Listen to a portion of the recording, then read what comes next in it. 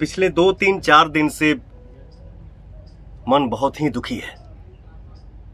बिहार के मधुबनी में जो घटना घटित हुई है, उसे मैं कड़ी से कड़ी शब्दों में निंदा करता हूँ। और बिहार सरकार से मांग करता हूँ कि दोषियों को जल्द से जल्द पकड़ा जाए और उन्हें कड़ी से कड़ी सजा दी जाए, ताकि इस तरीके की घटना दूसरे परिवार के साथ ना हो पाए। इसके अलावा मेरे पास कोई शब्द ही नहीं है। मैं पीड़ित परिवार के साथ हूँ और आप लोगों से बहुत ही जल्द मिलने भी आ रहा हूँ।